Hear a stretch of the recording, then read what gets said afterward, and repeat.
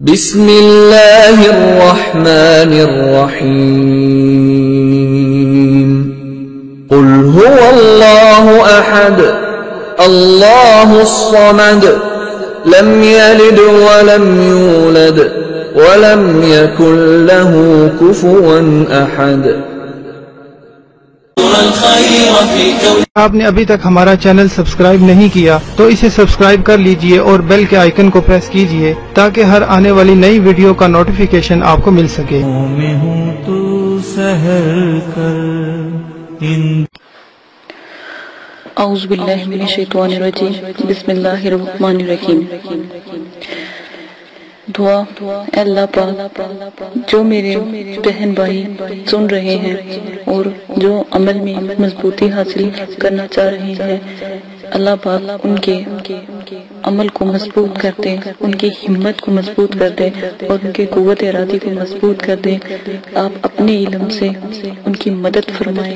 اللہ پاک آپ ان کی غیبی مدد فرمائے اور جیسا وہ نیک دل سے چاہتے ہیں، ان کا وہ کام ہو جائے۔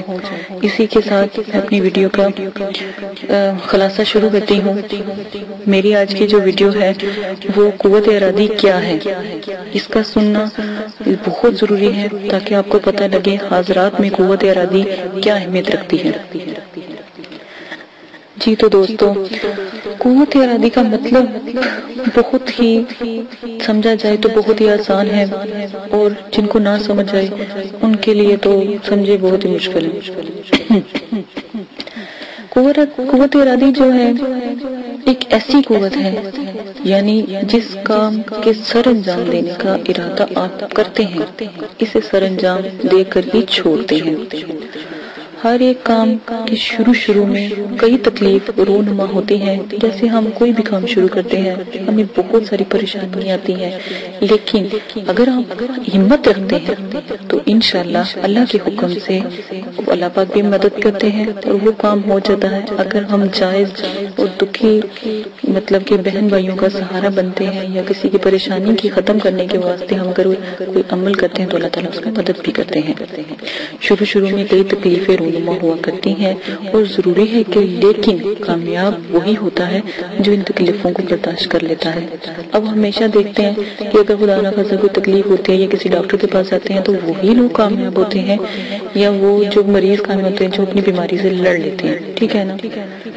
جن لوگوں کو انجیکشن لگنے سے درد ہونا شروع ہو جاتا ہے یا دیکھتے درد ہونا شروع، انہوں نے کہاں کامیاب ہونا ہوتا ہے؟ ٹھیک ہے نا؟ بہت زیادہ مضبوط دل کا ارادہ رکھے تو انشاءاللہ کامیابی آپ کے خود قدم چومے گی۔ ٹھیک ہے؟ حاضرات ایک دفعہ کروا لیں جنات ایک پری آپ قابو کر لیں گے نا۔ میں کہتی ہوں پوری زندگی کے لیے کافی ہے۔ خاص کر میری بہنوں کے لیے۔ بہنوں کے لیے تو اتنی پیارے پیارے دو تین میں ایسے عمل بتاؤں گی کہ ایک دن کے عمل ہوں گے۔ اس میں روزہ رکھنا ہوگا تو انشاءاللہ پر یہ ایسے آپ کے پاس ہوں۔ گے پر پہلے حاضرات کرنا سیکھیں۔ حاضرات نظر آ گئے تو یہ پریے جن مکلات حاضرات آپ کی ایسے مدد کریں گے کیونکہ وہ جنات ہی ہیں۔ ٹھیک ہے؟ حاضرات کرنا سیکھیں، انشاءاللہ ساری چیزیں آپ کے پاس ہوں گی۔ بس آپ اپنا ارادہ مضبوط رکھیں، جو عملیات کی بنیاد کرنا چاہتے ہیں، عمل کرنا چاہتے ہیں، بس اپنا ارادہ مضبوط رکھیں۔ مجھے بار بار کہہ رہی ہوں کہ دل تھوڑا نہیں کرنا۔ ہم آپ کی مدد کریں گے۔ انشاءاللہ انشاءاللہ جو بھائی، جو بہن عمل شروع کرے گا، ہمیں بتا کے کرے۔ اجازت لینا ضروری ہے تاکہ ہم اپنے مدرسے کے بچوں سے آپ سے یہ دعا کروائیں گے کہ آپ اس میں کامیاب ہو جائیں، ٹھیک ہے؟ انشاءاللہ اتنی کوشش ہم آپ کے لیے کریں گے، لیکن پہلے آپ اپنے دل کو مضبوط کریں۔ قوت ارادی بات وہاں سے شروع کرتے ہیں کہ جب تکلیف کو وہ شخص برداشت کرتا ہے نا، ٹھیک ہے؟ تو وہ کامیاب ہو جاتا ہے۔ اور جب دیکھیں تکلیفیں برداشت کرنے کی عادت ہوتی جاتی ہے، ہوتی جاتی ہے قوت ارادی خود بخود مضبوط ہوتی جاتی ہے۔ ہمیں کوئی بیماری لگتی ہے ٹھیک ہے ہماری قوت ارادی جیسے جیسے ہم بیماری سے لڑتے ہیں، اور مضبوط ہو جاتی ہے۔ ہم کہتے ہیں، اللہ کے حکم سے اگر یہ آئی ہے تو آ جائے۔ ہم اس سے لڑیں۔ گے ٹھیک ہے؟ کوئی پریشانی، دکھ، تکلیف آتا ہے تو آپ خود لڑتے ہو اس سے۔ ٹھیک ہے؟ کوئی دوسرا نہیں آتا۔ ٹھیک ہے۔ اللہ باقی مدد آتی ہے اور انشاءاللہ اسی کو قوت ارادی کہتے ہیں، جب کوئی انسان بیمار ہوتا ہے وہ اپنے آپ سے لڑتا ہے اور جب لڑتا ہے اور پھر اس بیماری سے وہ جیت جاتا ہے تو یہ قوت ارادی ہی کہلاتی ہے۔ عمل بھی اسی طرح عمل کی بھی یہی شرطیں ہیں، ٹھیک ہے۔ عملیات کی دنیا بہت آسان ہے، لیکن ان لوگوں کے لیے مشکل ہے جو بے وقوف ہیں۔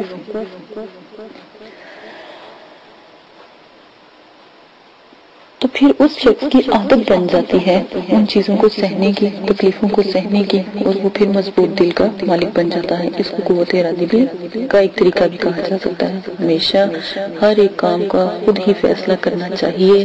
اپنے آپ کو دوسروں کے حوالے کبھی نہ کرو۔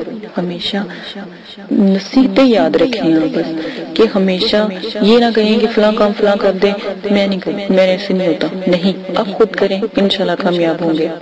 جو لوگ دوسروں پہ ڈالتے ہیں، میں نے پہلے بھی عقیدے میں بھی بتایا کہ جو لوگ اپنا کام دوسروں پہ پھینک دیتے ہیں، وہ کبھی کامیاب نہیں ہوتے۔ وہ لوگ بہت مضبوط دل کے مالک ہوتے ہیں جو اپنا کام خود کرتے ہیں، ٹھیک ہے؟ اسی طرح اپنا کام کبھی کسی پر نہ ڈالو، خود کرو، ٹھیک ہے؟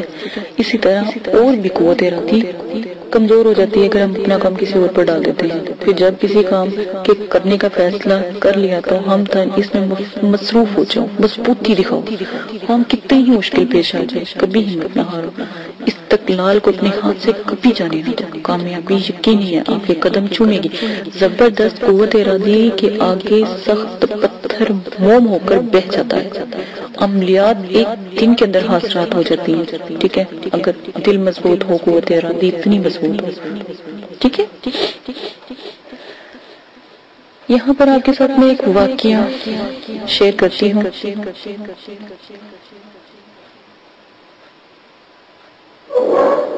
واقعہ فرحاد میں کسی طرح پہاڑوں کے پہاڑوں کے پہاڑ تن تنہا کاٹ کر رکھ دیے تھے۔ ٹھیک ہے ٹھیک ہے ٹھیک ہے؟ یہ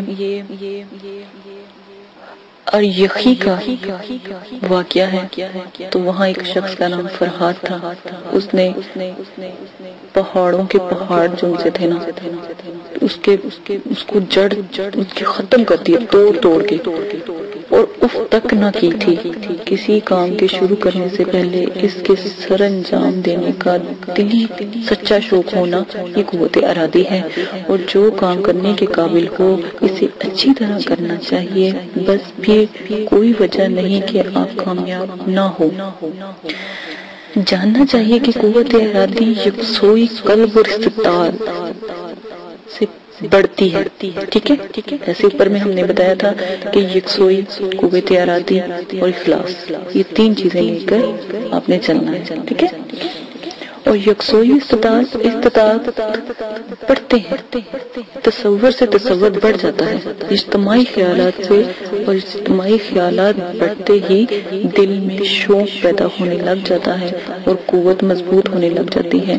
بس جب تک کسی کام کے سر انجام دینے کا شوق نہ ہو تو وہ کامیاب اپنے آپ کبھی بھی کامیاب نہیں ہو سکتے، وہ کام آپ کبھی نہیں کر سکتے۔ اور جب شوق ہوگا تو اس وقت فوراً جیسا آپ سوچیں گے ویسا آپ کام ہو جائے گا، ٹھیک ہے؟ اور پھر آپ جب شوق بڑھے گا، تصور بڑھے گا کہ ہم حضرات ایسے ہوں گے، جنات ایسے ہوں گے پریے ایسے ہوں گے تو پھر آپ کا دل اور شوق پیدا ہوگا، تو دل مضبوط ہوگا۔ شوق ہوگا، اس کام کے متعلق خیالات جمع ہوتے چلے جائیں گے اور پھر تصور بڑھتا چلا جائے گا۔ اس طرح قوت ارادی، دل میں مضبوطی، خود بخود بڑھتی چلی جائے گی۔ یکسوئی کا، یکسوئی قلب کا مطلب ہے، دل کو ایک طرف لگا لینا۔ یکسوئی جیسے اوپر بتایا گیا تھا کہ یکسوئی کا مطلب ہے دل کو ایک طرف لگا لینا اور پھر جو ہے ایک دل کو مضبوط رکھ لینا۔ دل اپنی مرضی کا مالک نہیں ہے۔ یہ اپنے جن کے اندر دھڑکتا ہے، یہ انہی کا محتاج ہوتا ہے۔ ہم جس طرح اس کو چاہے کر سکتے ہیں۔ ٹھیک ہے؟ جو اس کو ایک کام کی طرف رجوع رہنے دیں گے نا تو اسی کام میں لگا رہے گا۔ ٹھیک ہے؟ جیسے ہی ہمارے خیال میں دوسرا خیال نہ آیا وہ پھر سے اپنی اپنے ٹون میں آ جائے گا، ٹھیک ہے؟ ایک تو وہ جو صرف دماغ سے پیدا ہو کر دل تک پہنچتے ہیں خیال، وہ خیالات اور ہوتے ہیں۔ وہ اندرونی خیالات اور دوسرے بیرونی خیالات ان سب کو ملا جلا کر، ٹھیک ہے نا؟ یہ بنتے ہیں، دماغ کا کام ہوتا ہے، سونگنا ٹٹولنا ٹھیک ہے؟ تو ایک حص پیدا کرتا ہے، ٹھیک ہے نا؟ تو دل اس کو دماغ، دیکھیں دماغ، سمجھے آپ ہے، عمل جو ہے، اس کی خوبصورتی وہ دل ہے۔ آپ عمل کو کتنی خوبصورتی سے کرتے ہیں، کس طرح آپ سمجھتے ہیں، کیسے اس کو سنتے ہیں، ٹٹولتے ہیں، کیا کرتے ہیں؟ اتنا ہی اس کو آپ کو اچھے طریقے سے رزلٹ ملے گا۔